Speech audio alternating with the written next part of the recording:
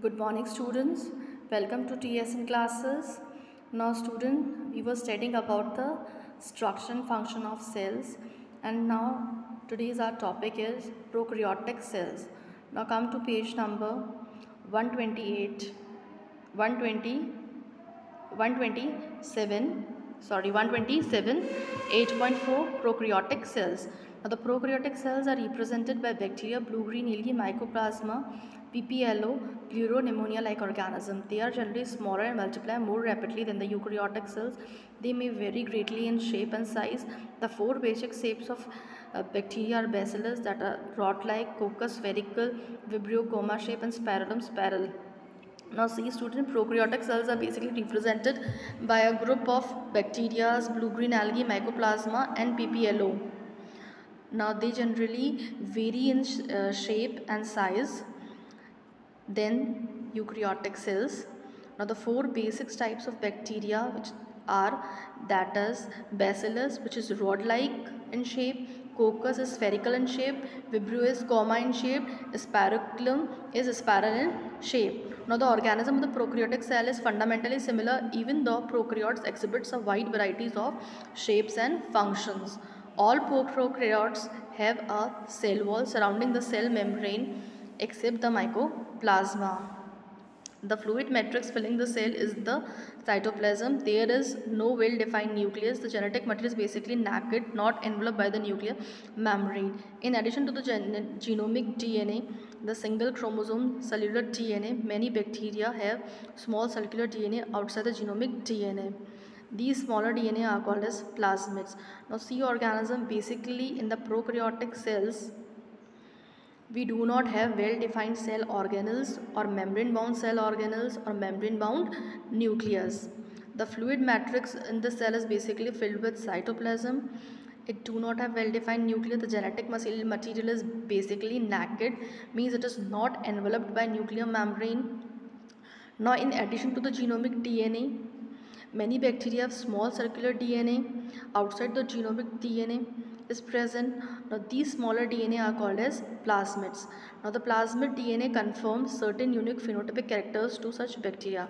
Now see student plasmid DNA which is present in the bacteria confirm the certain unique uh, phenotypic characters of the bacteria one such characteristic is resistance to antibiotics and one of the characteristic which is provided by this plasmid is resistance to the antibiotics. In the higher classes you have you will learn that this plasmid DNA is used to monitor bacterial transformation within now DNA now these plasmids are basically used to monitor the bacterial transformation within the foreign DNA nuclear membrane is bound in eukaryotes no organelles like the one in eukaryotes are found in prokaryote cells except the ribosomes.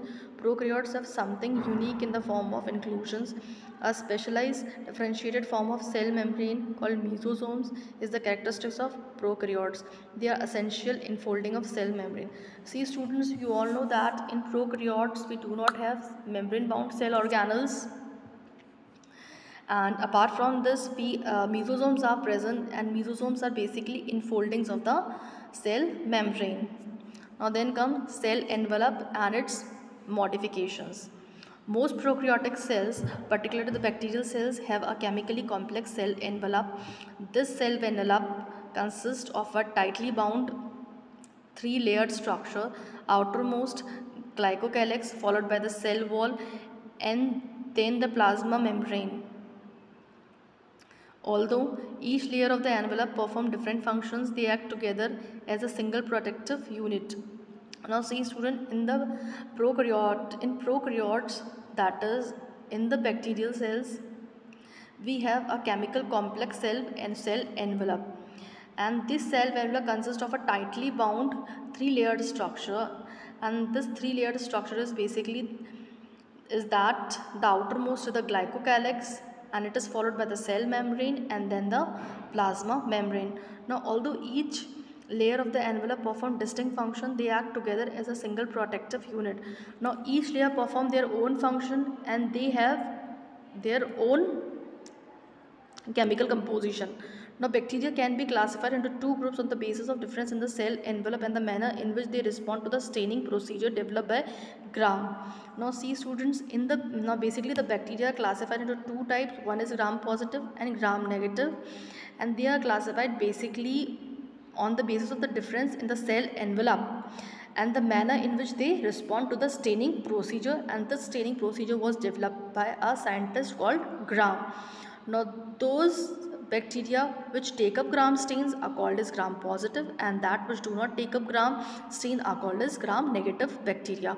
Now glycocalyx differs in composition and thickness among different bacteria and basically due to the presence of this glycocalyx only we are able to differentiate between the bacterias because the amount of glycocalyx is different in different different bacterias. It could be a loose sheet like called thin slime in some while in other it may be a thick and tough called capsule. Now this glycocalyx can be in a form of loose sheet, loose uh, sheet called slime layer in some of the bacteria while in other bacteria it is thick and tough called as capsule.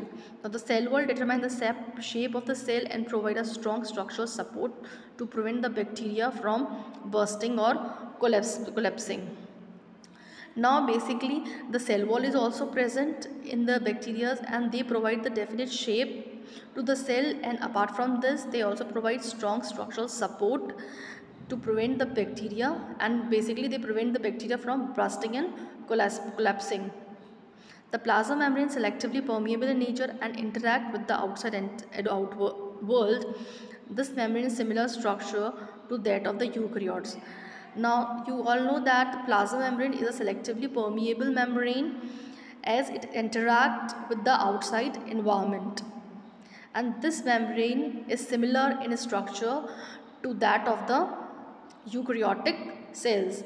A special membranous structure is called mesosomes which is formed by the extension of the plasma membrane into the cell. These extensions are in a form of vesicles, tubules or lamella now see students apart from this they also bacterial cell also have mesosomes and these are the basically enfoldings of the plasma membrane into the cells. Now these extensions may be in a form of vesicle or maybe in a form of a tube or laminae.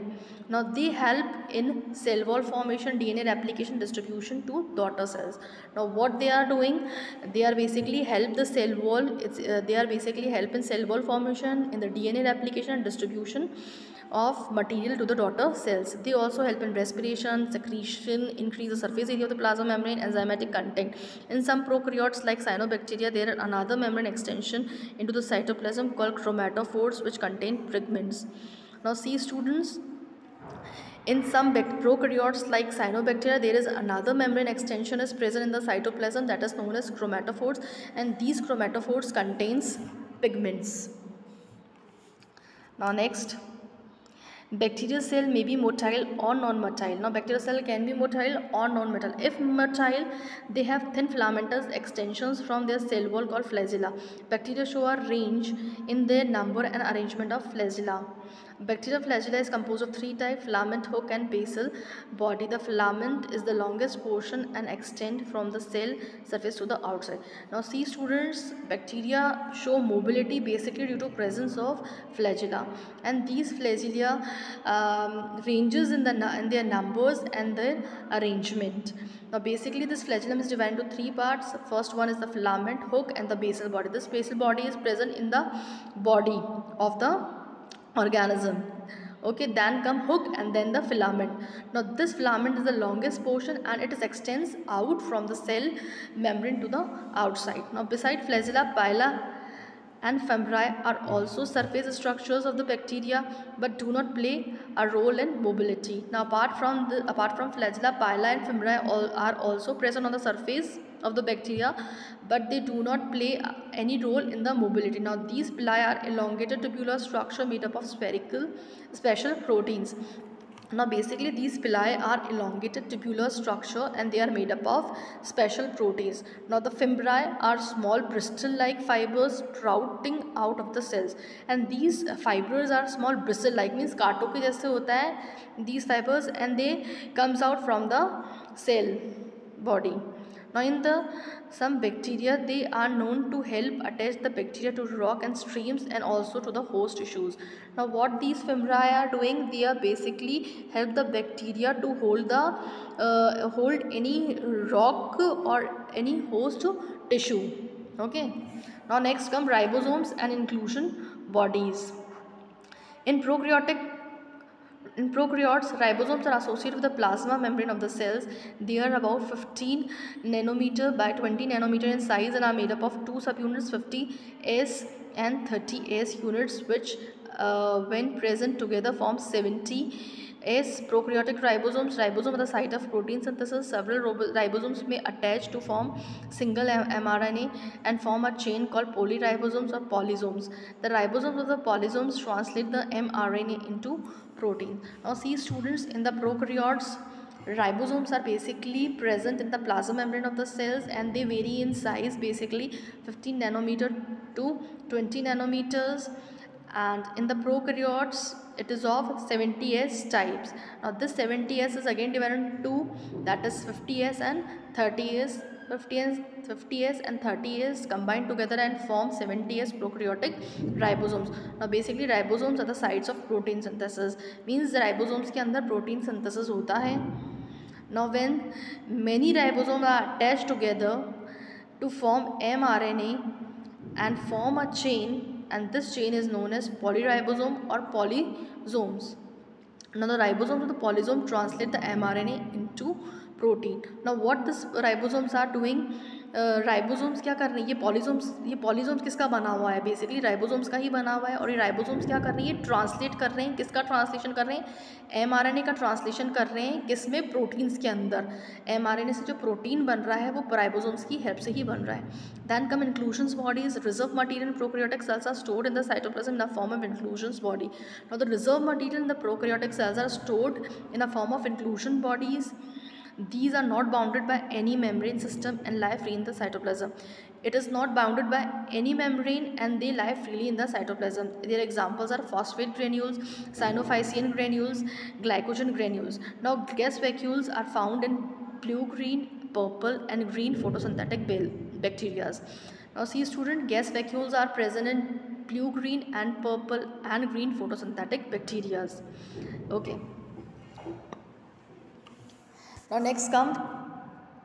Okay student, thank you.